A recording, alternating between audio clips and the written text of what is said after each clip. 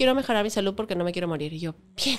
¿No? O sea, era como... Claro, ese es el objetivo. Sí, sí, o sea, era como, no me importa, o sea, delgados, en su peso, eh, con alguna enfermedad, sin alguna enfermedad, pero como, me preocupa mi salud, no me quiero morir. Y yo, ah, Dios mío, se me pone la piel de gallina, qué emoción. O sea, vivo en un mundo real, ¿no? Y creo que el- porque imagínate que no puedes comer salmón porque tiene metales pesados, que no tomes el agua porque no sé qué, que las frutas vienen con pesticidas, que el pollo con hormonas, que el huevo no sé qué, que la carne, o sea, es como, a veces es como, ya, entonces, ¿qué como, no? Yo soy la mujer al borde y en este podcast vamos a preguntar, cuestionar, confesar, reflexionar, jugar y conversar acerca de todo lo que las mujeres y los hombres hoy en día necesitamos conversar. Porque calladitas no nos vemos más bonitas. Así que bienvenidos todos los humanos al lugar donde decimos lo que nos sale del coño. Este episodio llega gracias a Adidas y Sony. Creo desde que tengo uso de razón, o desde que empecé la mujer al borde, hablar del cuerpo no solamente ha sido un proceso personal de amor propio, sino un propósito con el cual empoderar a, a todas las mujeres que han llegado y que siguen llegando y que llegarán. Y hace poco, en mi propia y continua exploración, me di cuenta que mi relación con el dinero estaba asociada al miedo que hasta el día de hoy tengo de los números de la balanza. Mi cabeza explotó por completo. Así como mirar lo que determinaba mi valor, crecí evitando ver lo que había en mi cuenta bancaria. Un regalo más por sanar gracias a la cultura de la dieta. Así que disculpen los ovarios, pero hablar de nutrición hoy es dejar de lado esa dieta milagrosa y buscar entender qué significa alimentarte bien. Porque no solo somos lo que comemos, somos lo que pensamos, el tiempo que compartimos, la profesión que tenemos, las emociones que experimentamos y muchas, muchas, muchas cosas más que engloban la vida individual de cada ser humano en este planeta. Así que para conversar de esto y mucho más, y sobre todo enfocarnos en lo que más nos importa, que es el amor, hoy vamos a conversar con Vanette y yo. Es nutricionista, creadora de contenido, mujer, y acá te tenemos. Muchas gracias. Muchas por gracias. Qué linda introducción, Ale, en verdad, porque mientras que te escuchaba no hay nada más cierto. Y como tú te has dado cuenta de que tienes esos, esos pensamientos ocultos y esas creencias ocultas, le pasa a muchísimas personas. ¿Cuál es la... Me imagino que has tenido muchos tipos de consulta, pero deben haber factor eh, eh, en común en muchas de ellas, como ¿cuál es la historia que más escuchas en tu consulta de, de mujeres que vienen a Ujú. ti? Yo pienso que, el, bueno, también mi especialidad es en sobrepeso y obesidad, ¿no? Y en conducta alimentaria. Entonces, recurren mucho a mí personas que quieren perder peso. Sin embargo, y lo cual me hace muy feliz, es que cada vez vienen antes de, de más motivados quizás por salud y no por el número de la balanza, ¿no? Preocupados más porque quieren sentirse más cómodos, por un tema de, les preocupa, no sé, su salud, tienen hijos, lo que fuese, ¿no? Pero más preocupados por eso y más entendiendo que la composición corporal es importante y no el número en la balanza. Definitivamente creo que estamos en un momento de cambio de muchos Sí. ejes alrededor de, de valor, alrededor de lo que es salud, ¿no? Eh, y si bien sigue habiendo un discurso bastante restrictivo, gordofóbico por momentos, donde todo pareciera ser perder, o sea, la solución a todos, los- todos tus problemas es perder peso. Y hemos crecido en una generación definitivamente en la cual era parte de lo que te iba a dar felicidad en la vida, ¿no? Sí. Cuando llegaras a un ideal de belleza que finalmente era ser delgada. Sí. Entonces podías recién empezar a construir todo lo que te han enseñado, claro. que es bueno y que Sí. es para ti. ¿Tú en Sí. algún momento te has enfrentado con este ideal? ¿Qué has aprendido eh, y cómo sobreviviste? Porque inevitablemente has sido una mujer en esta sociedad creciendo en una cultura de dietas milagrosas y de pastillas y de fajas y de recomendaciones y de opiniones de todo. Sobre todo eso, las opiniones, ¿no? Yo creo que, bueno, para mí, este, por ejemplo, en mi caso, mi mamá siempre fue muy obsesionada con el cuerpo, ¿no? O sea, con verse bien, con comer sano. Y por un lado fue como quizás una semillita que se sembró para despertar el interés por los alimentos, ¿no? Este, en mi casa siempre se comía sano, pero sano de la antigua, o sea, todo light. ¿no? O sea, todo que decía light, todo descremado, etcétera, ¿no? Un poco como el old school de lo sano. Claro. Y, pero sí luego como modelo, de hecho, era un reto, o sea, siempre tenías que estar regia, ¿no? Porque había momentos en donde era clásico que, pucha, salías a la pasarela y luego como el, el día siguiente, en las mañanas de espectáculos, era a quién de todas las modelos se le vio la celulitis, ¿no? Y en verdad, imagínate qué estrés, porque qué mujer no tiene celulitis, por favor, levante la mano, porque creo que todas tenemos celulitis, ¿no? Entonces, ¿qué nivel de, de exigencia, qué nivel de, pucha, como, o sea, me acuerdo como el estrés que era como, ya, pero a ver, ¿así se me ve o así no se me ve? ¿No? O me pongo esto o quizás, no sé, habían etapas en donde de repente, pues en algún momento puede ser que estás con algún cambio hormonal y puedes tener un poco más de, de hinchazón o algo y estar como tan pendiente de eso, ¿no? Y siento que igual eh, yo podía ser como de las más relajadas versus quizás otras chicas que he visto, ¿no? Que veía que antes de subirse una pasarela hacían sentadillas, ¿no? Como para estar tipo en el momento perfecto, ¿no? Entonces, siempre es, es difícil y sigue siéndolo porque tenemos este, esta creencia detrás que por más de que tratas de ser consciente, está la creencia ahí, ¿no? Hoy en día, que soy nutricionista y que también me recuerdan, de hecho, como modelo, muchas veces también se me pasa por la cabeza y digo, ¿qué pasa si de la noche a la mañana, no sé, subiera un montón de peso? ¿No? ¿Seguiría siendo tan válida mi opinión como la que es ahora? ¿No? Y no por mí, sino por lo que el resto puede ver en mí, ¿no? Entonces, sí. Sí, qué poder, qué poderoso lo que dices y creo que justamente eso es lo que por mucho tiempo se ha reforzado a través de no solamente publicidad, sino todos los medios, las películas, las comedias, Sí. como el personaje gordo, con sobrepeso, ¿no? Con obesidad. Tenía que ser un personaje en transición de algo, como la Sí, soltera, ¿no? En sí, transición sí, de encontrar una pareja, porque no era válido por sí mismo, o era el outlet cómico, ¿no? Claro. O siempre la mejor amiga. Sí, eh, sí, no era el personaje principal, sin duda, ¿no? Y si era el personaje principal, iba a cambiar. ¿no? Exacto, tenía que tener una transformación personal. Piensa en Betty la Fea, ¿no? O sea, o, o todas las películas eh, o, o series que, que retratan una transformación Exacto. hacia eso, como que, ah, ya, Sí. ese es tu verdadero. No, y además una persona que tiene, eso sí lo veo muchísimo y, y incluso yo he cambiado mi perspectiva, ¿no? Porque cuando empecé a estudiar, incluso en la universidad te enseñaban que una persona que tiene obesidad es una persona que es desordenada, que es una persona que no tiene buenos hábitos, que es una persona que de repente es más lenta en su trabajo, menos hábil, etcétera, ¿no? Entonces ya luego en la práctica, o sea, me he cruzado, gracias a Dios, con personas maravillosas y que sí tienen obesidad, ¿no? Y eso no significa que haga que sean menos personas, ¿no? Entonces sí. De pronto deshumanizamos muchas cosas, pero también nuevamente nos enfocamos en, en una sola variable de lo que es salud, que es lo que te metes a la boca y, y viniendo de, de un mundo de restricción desde niña, sigue siendo gatillador muchas veces Uf, el hablar olvídate. de dieta, sigue siendo como siguen habiendo esos momentos en los que ya, entonces no voy a comer porque tengo un Sí. evento en la noche, entonces no voy a Sí. comer en, en todo el día, ¿no? Y, y lo digo porque también a veces soltamos como esta, esta imagen de, sí, la transformación y aceptarme y mi cuerpo increíble y agradecerlo. Y sí, el 99% del tiempo esa es la chamba que, Sí. que- que tienes que hacer, ¿no? Personal.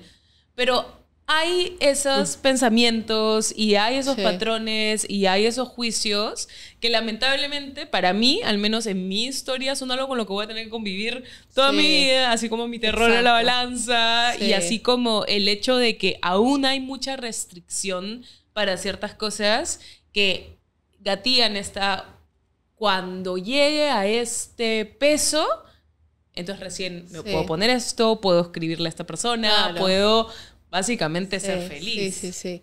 No, y, y además que por más de que las, o sea, se trabaja mucho en consulta y el paciente como que en consulta me puede decir como, ya, sí, sí, tienes razón, en verdad que sí, tienes toda la razón, eso acá, claro, no tiene sentido que yo diga que después de comerme el chocolate ya no voy a poder comer, no sé qué, pero llega la siguiente consulta y de repente es como que, pucha, Vanessa, lo volví a hacer, ¿no? Pero también es parte del, del cambio, ¿no? Y yo creo que en realidad nosotros ya hemos empezado a hacer un cambio, a tomar conciencia, pero quizás quienes van a ver los resultados van a ser de repente hasta dos generaciones después. ¿no? Porque en verdad nosotros ya tenemos ese chip este, y las creencias ya están arraigadas y, y además nuestros padres, por lo menos nosotras que, que, que creo que somos contemporáneas, este, nuestros papás tienen otro chip, Por completo. Y nuestros abuelos ni qué decir, ¿no? Entonces, recién nuestros hijos, o sea, por lo menos yo que tengo una hija, ya empiezan a cuestionarse algunas cosas, pero igual tienen otras cosas que viene la abuelita y se los dice, o viene tipo, no sé, tú misma los dices, ¿no? O sea, yo cuido mucho, por ejemplo, de mi hija que, tipo, no sé, este, ya, tómame la foto, pero se me ve el rollo, y yo, puedes no hacer esos tipos de comentarios, ¿no? Porque entonces los niños aparente empiezan a darse cuenta que, ah, mira, o sea, ¿no? O como, este, no sé, este, ay, las orejas no me gustan, me avisas si se tapan en la foto, ¿no? Y en verdad se dan cuenta que puedes decir que hay partes de tu cuerpo que no te gustan, ¿no? Y me, y me encanta porque los niños son tan sabios que todo el tiempo te están lanzando oportunidades Sí. de automejora, pero también de aprender juntos. Es como que puedes taparme el rollo, pero eso no se llama rollo. Ese es tu Claro. abdomen, o ese es tu bíceps, o ese es no sé qué cosa. sí, No claro. sabes orejas. Son las orejas de tu abuela y de tu Claro. tatarabuelo Tal y de tal, y las mías. Es que los to- lo toman tan como natural, ¿no? Y el problema en verdad es que no tienen ese juicio que a veces los enseñamos nosotros, ¿no? Y hablando de estos resultados, creo que eh, parte de... A ver, para mí hoy en día hablar de un proceso de cambio hacia una vida más saludable, no solamente toma un- una nutricionista como tú, ¿no? Que hace gran parte, sino un psicólogo, un Total. entrenador, Sí. una tribu y... Totalmente, y- sí. y ir desenmascarando y desaprendiendo todo Sí. lo que aprendiste total, eh, a sí. lo largo de tu vida. A lo ¿no? largo, exacto. Y de pronto, mucho de lo que a lo que tiramos eh, que alguien pueda tener un cambio es como, ah, qué gran fuerza de voluntad, porque no comiste ese chocolate, Sí, sí. pero nadie está manejando ni hablando de de la emocionalidad que hay detrás del comer. Es decir, Claro.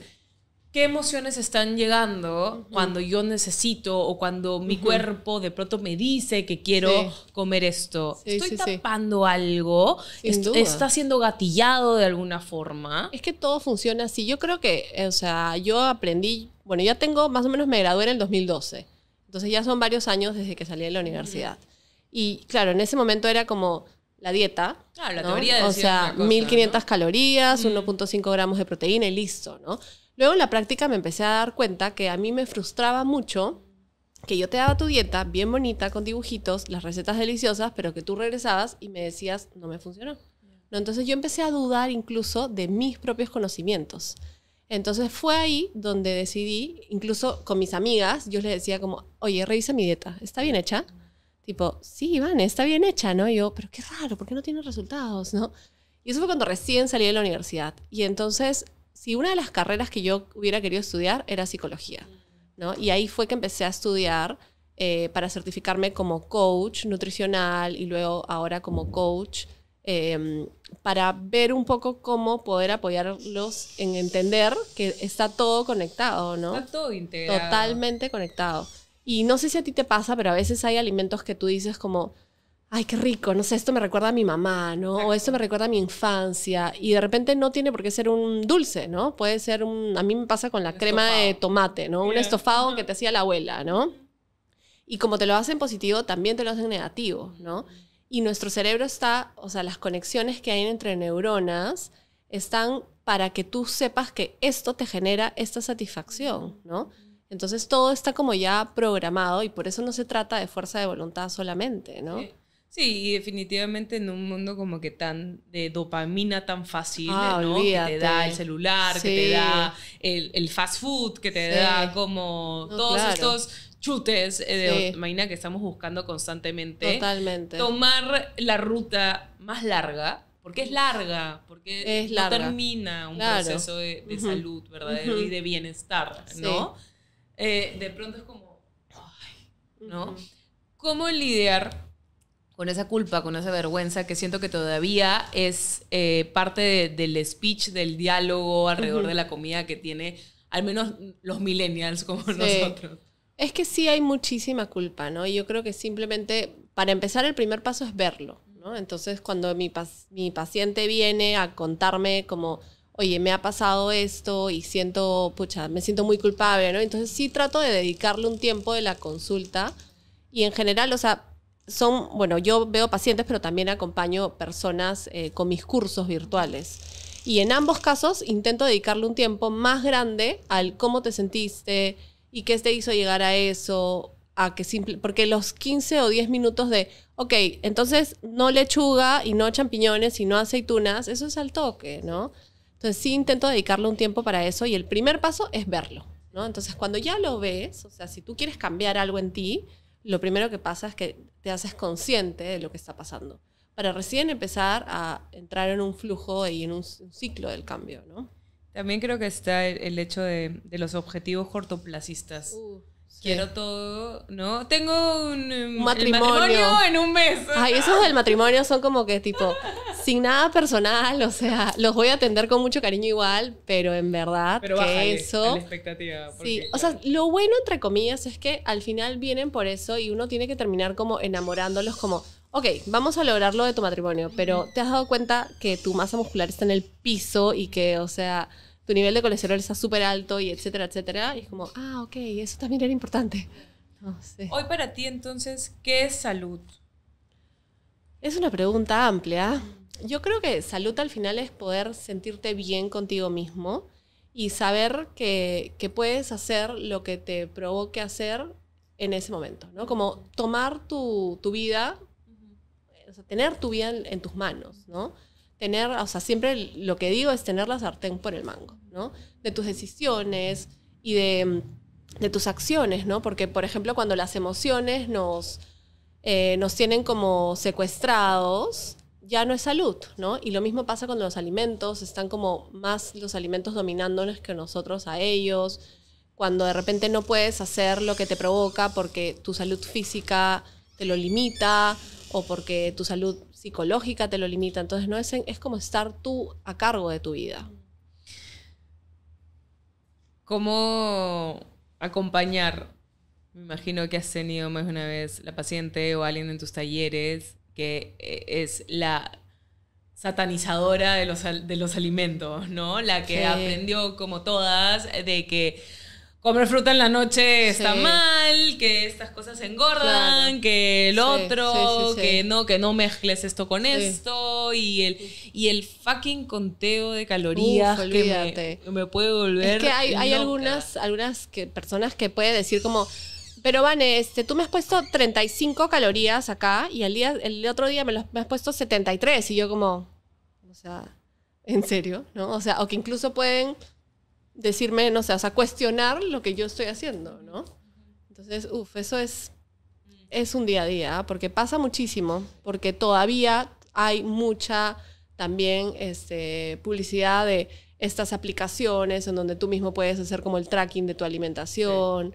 Entonces, y todavía también hay mucho contenido que se vende de... El problema es que hay mucho contenido de todo tipo. Eso. Entonces, ¿cómo filtrarlo, no? ¿Cómo?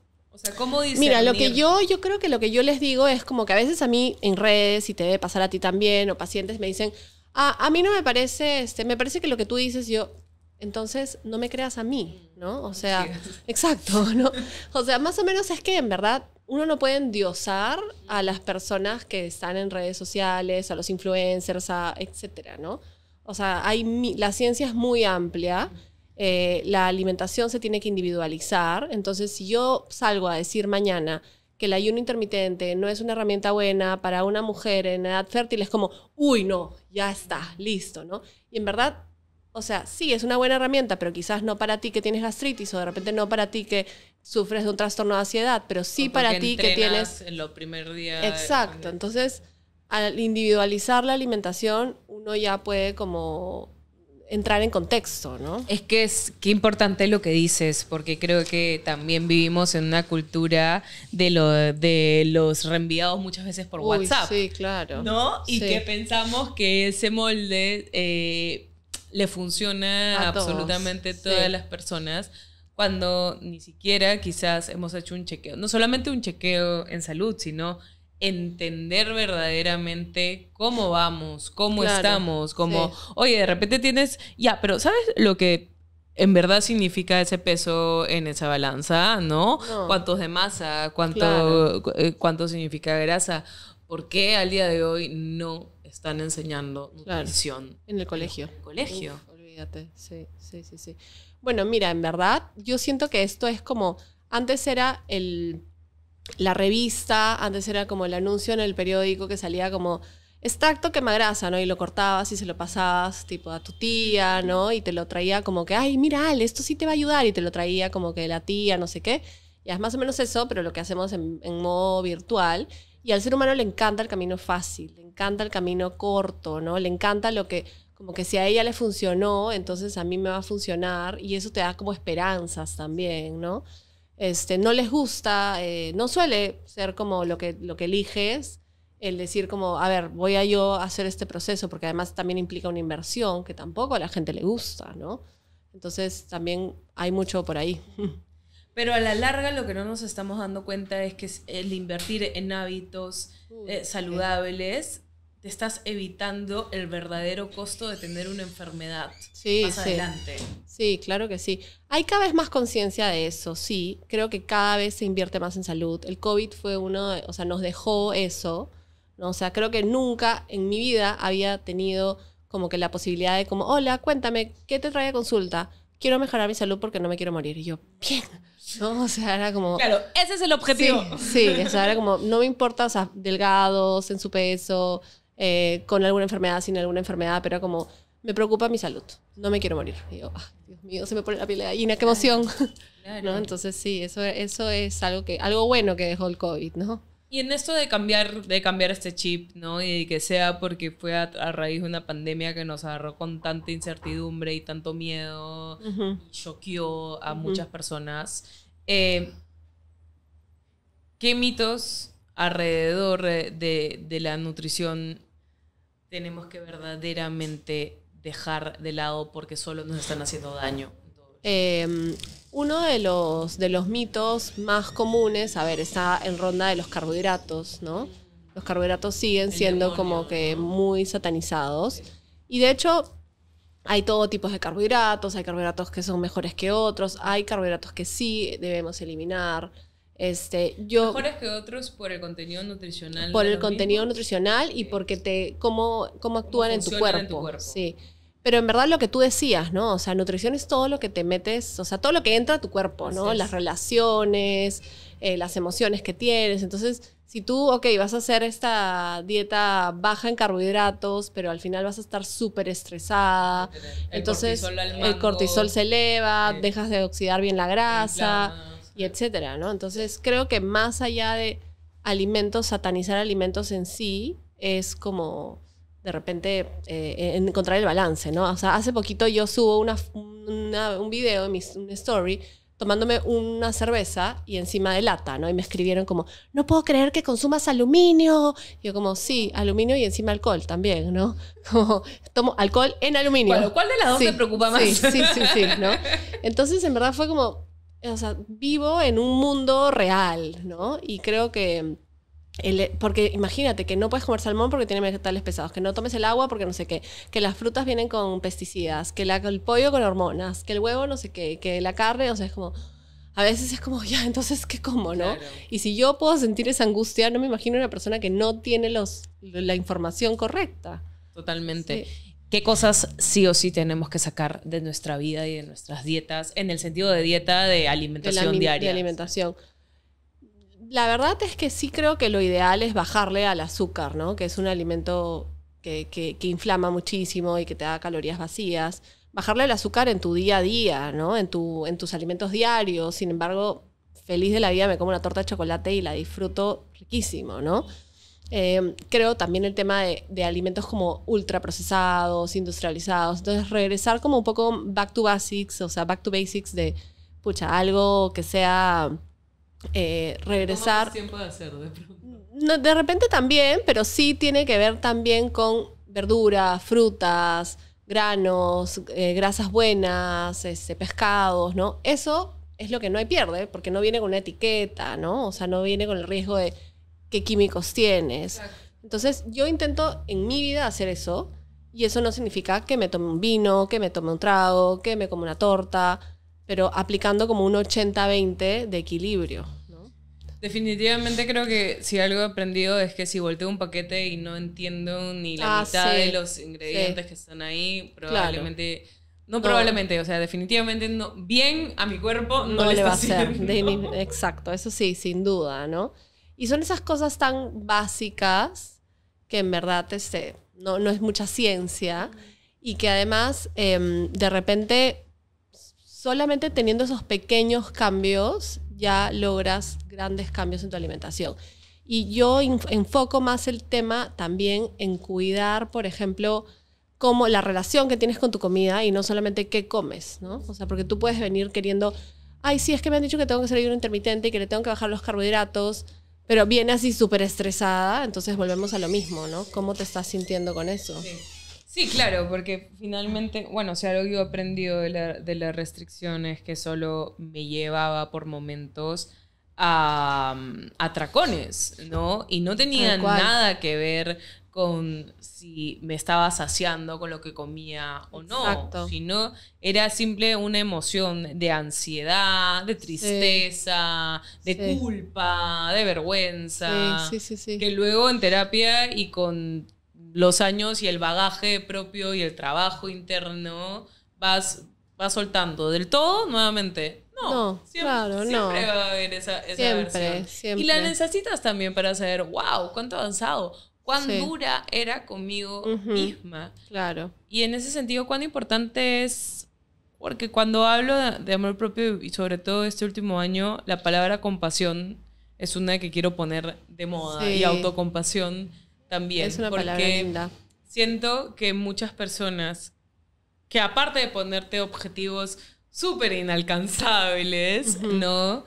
Eh, a la primera que la friegas, digamos, chao, tiro la toalla, no Sí, estoy hecho para claro. esto y tal, Sí. y Pero es que derrumbado. en, en todo, o sea, si tú, si tú, no sé, pues este, vamos a hacer un nuevo celular, entonces ese celular va a entrar en un proceso de prueba y en ese proceso de prueba va a haber un momento en donde ese celular falle.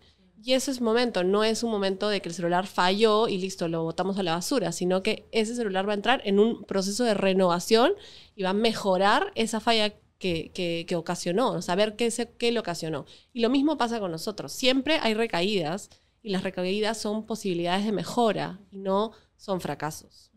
Definitivamente. ¿Qué has aprendido entonces sobre mm, las expectativas, la validación externa y las opiniones ajenas? Uy, eso es personalmente un reto que sigo trabajando, ¿no? Eh, soy como, o sea, soy natu- naturalmente súper perfeccionista y me gusta hacer las cosas muy bien. Y el hecho de haber, el tema, yo creo que me marcó mucho el, el tema del modelaje, ¿no? Porque mi carrera de modelaje fue pulcra, ¿no? Y eso fue muy exigente, ¿no? Entonces ahora, si es que de repente alguien puede, podría en algún momento decir como, no me gusta lo que está haciendo ella, sí tengo que pasarlo por un filtro como, ok, está bien, lo que tú opinas es valioso, pero yo soy, si sigo siendo, o sea, me sigue costando y lo sigo trabajando, sin duda, ¿no? Qué, bo- qué bonito y qué importante lo que dices, Vane, porque eh, y creo que ahí está el lado de siempre recordar que tras de un profesional, de un creador, de alguien que está comunicando Total. y que tiene una comunidad, hay una persona Hay una persona, sobre humana todo. que de repente no está teniendo el mejor día de su vida, Sí. pero te la estás comiendo porque es- sigues con tu chamba y sigues con tu propósito y sigues Sí. con este servicio de ayudar a, a los demás. ¿no? Claro. No, eso que, que era increíble, ¿no? O sea, piensa, muchas personas pueden pensar que tus días son hermosos y que todo va perfecto, ¿no? Y yo intento en mi contenido también decir que no todo va perfecto, ¿no? Y que tengo días muy buenos y que tengo días muy malos y que en general depende de cómo tú vayas mirando la vida también, ¿no? Pero eso sí es súper valioso entender que cada uno tiene una propia lucha, ¿no? Porque no sé si a ti te pasa, pero eh, hay que también hacer un- una dieta de qué contenido consumes, ¿no? Entonces, el contenido puede ser muy detonante, ¿no? Y es como una adicción, como que entras y, ay, no puedo creer, mira cómo ella ha logrado eso, o cómo, pucha, mira qué regia se le ve, o lo que fuese que pueda detonar en ti. Y ahí empiezan nuevamente, ¿no? Estos- Nuevamente. Estos, pensamientos tóxicos. Y creo Sí. que desde que empecé este podcast y hablábamos de relaciones tóxicas, yo me di cuenta que mi relación más tóxica siempre fue con mi cuerpo, ¿no? Con los mensajes que tenía frente al espejo, con estas mil y un dietas que pasaron por mi vida, con Sí. esta necesidad de validación eh, externa, Externa, para claro. sentirte eh, valiosa eh, y esta, este valor sobre un número de la balanza que Ujú. es, es completa- hoy entiendo es completamente Claro. surreal, aún más siendo mujeres si- teniendo un cuerpo tan cíclico, Sí, ¿no? sí, Eh, sí. tan hormonal, tan al cambio y al mismo tiempo tan, tan perfecto, porque estamos hechas justamente como tenemos que estar, Tal que cual. estar hechas, ¿no? Eh, y tú tienes una niña de seis años Sí. que, querrámoslo o no, ya se está enfrentando Uy, a- a un ideal de perfección. A mí eso me pone, o sea, es como, uy, me pone los pelos siempre de punta, ¿no? O sea, porque creo que cuando tienes un hijo, este, es, es- se convierte en lo más preciado para ti. No quieres que nada le pase, no quieres que nadie, nadie le haga daño, ¿no? Y obviamente también te das cuenta que no, no puedes, ¿no? O sea, no puedes controlarlo. Pero es un reto constante cómo decirle, por ejemplo, hace ayer, antes de ayer, se fue al colegio y me dijo, mami, me quiero poner mi malla de gimnasia, de ella hacía gimnasia como artística, este, para mi clase de gimnasia en el colegio. Y yo, ¿segura? Le dije, sí, todas las chicas también lo hacen. Y yo, ah, ya, bueno, llévatela ya. Y regresó con la malla de gimnasia, que es como que un como bikini, ¿no? Como un ropebaño, ¿no?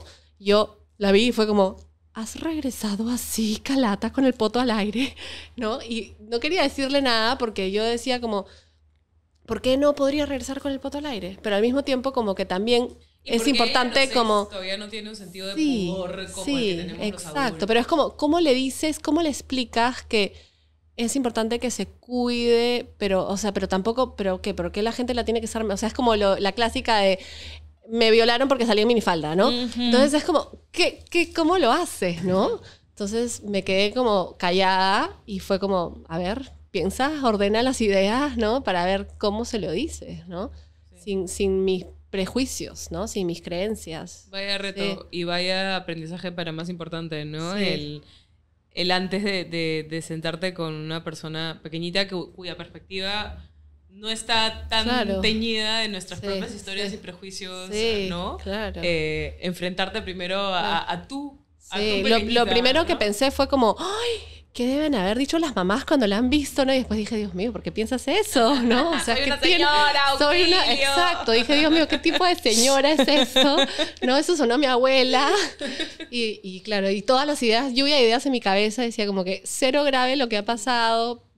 Y, y claro, y no, o sea, es como ese tipo de pequeñas cosas en donde se te juntan tus ideas con las ideas del mundo y como el debería con el no debería y etcétera. Y lo mismo con la comida, ¿no? Y lo Sí. mismo con, con el bienestar. Sí. Porque claro, ahora siento que tampoco, que si bien, oye, puede que nos hayamos liberado un poco de, de esta presión sobre qué como y no como y cuándo lo como y quién me ve comiéndolo y las que Sí. hemos comido Bueno. escondidas, las abrazo fuertísimo, ¿no? Ay, Eh, sí. No volvamos a hacer eso, por favor Uy. por nada y por nadie.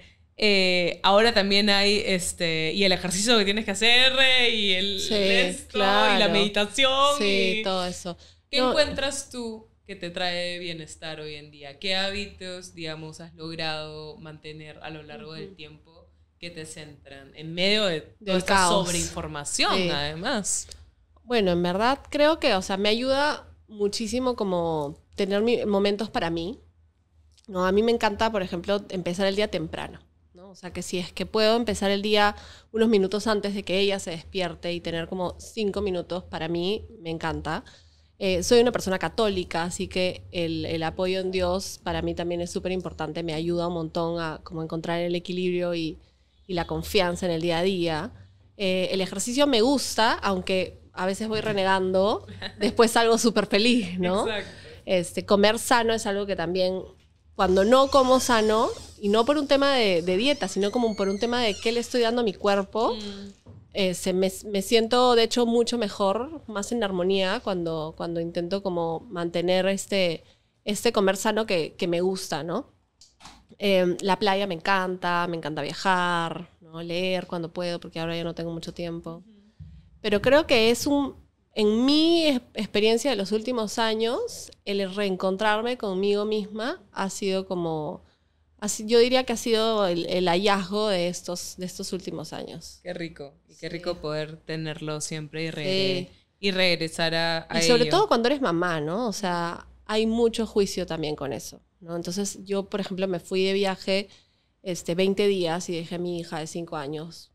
Y fue como, La o sea, abandonaste. la abandonaste. Yo también tenía ese trauma, ¿no? Como, pucha, seguro va a tener un trauma porque la dejé.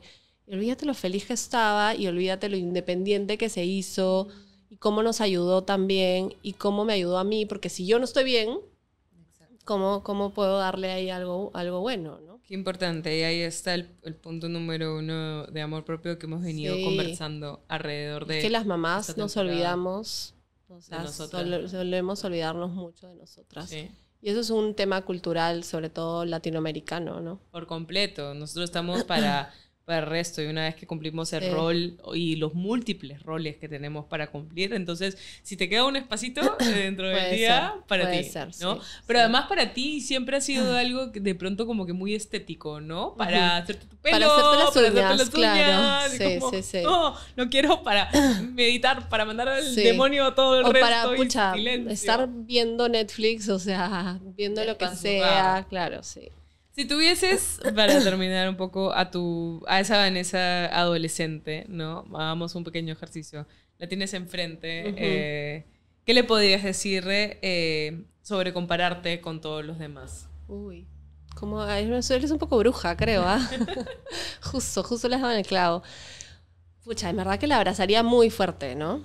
O sea, sí creo que eh, el tema de la comparación es uno de, los talones de esa Vanessa y sigue siendo uno de los talones ahora, que son como esas cosas que tú hablabas, ¿no? Eso que sabes que, que, que no y sabes que estás sanando, pero sabes que te cuesta, ¿no? En realidad, creo que, que el mostrarte que eres o sea, auténtica, ¿no? O sea, soy única, soy auténtica, soy, soy perfecta como soy. Y si es que yo quiero mejorar o cambiar algo en mí, será solamente decisión mía, ¿no? Y de nadie más. Y no lo voy a hacer por los estándares porque lo quiere mi mamá, mi papá, mi esposo, mi hija, lo que fuese, ¿no? Sobre el amor, ¿qué le podrían decir? Mm. Sobre el amor, creo que el punto es que, que tiene que amarse a ella misma primero. ¿no? O sea, pensar que voy a encontrar amor en otra persona o como lo que me falta cuando no está dentro, difícilmente lo vas a encontrar afuera, ¿no? Y vas a terminar viviendo como buscando, buscando, buscando y, y inconforme constantemente porque ahí no estás. No, no es donde tienes que buscar, ¿no? Y sobre lo que verdaderamente es saludable. Impo- o sea, bueno, entre saludable e importante, lo, creo que lo saludable es lo que te hace, lo que te hace bien y lo que te hace feliz.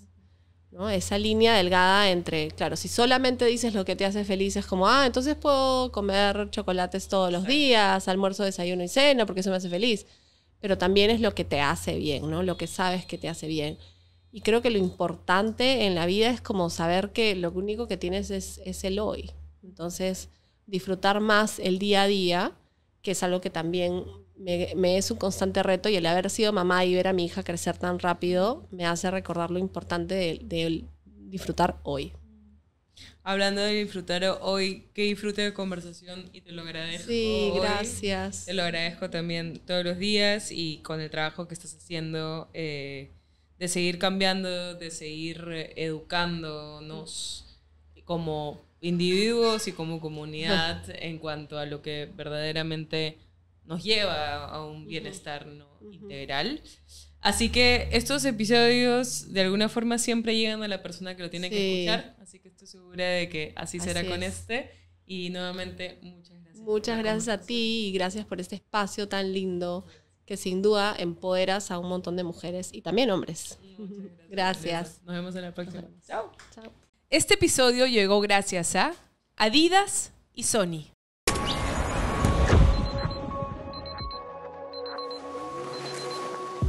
Cuando corro, quiero hacerlo sin tener que preocuparme por cómo visto.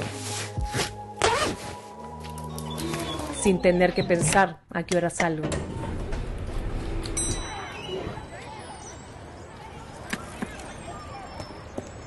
Cuando corro, quiero que los gritos sean de ánimos y no de acoso. Quiero que el mensaje que envíe sea sobre mi progreso y no sobre si llegué a casa salvo. Cuando corro, lo hago para demostrarme que soy capaz. Lo hago para demostrar que ser mujer no es impedimento de nada. Cuando corro quiero hacerlo libre. Cuando corro, corro con todas las mujeres.